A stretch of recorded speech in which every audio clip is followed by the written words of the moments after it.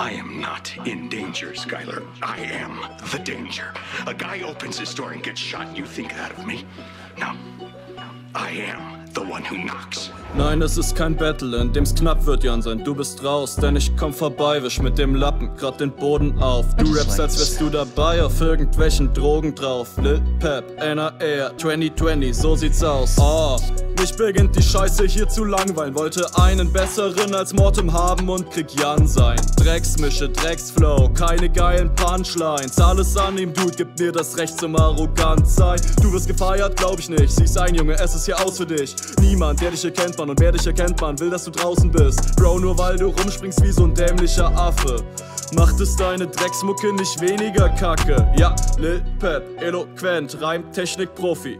Alle meine Parts sind so on fire wie Kobe.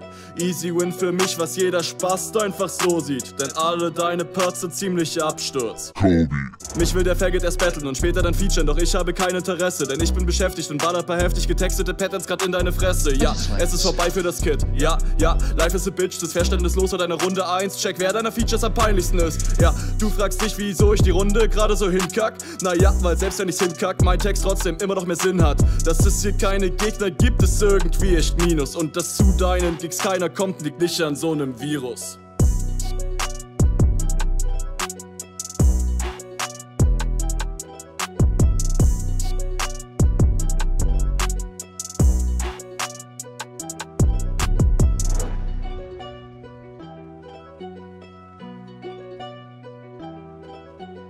I just like the sound.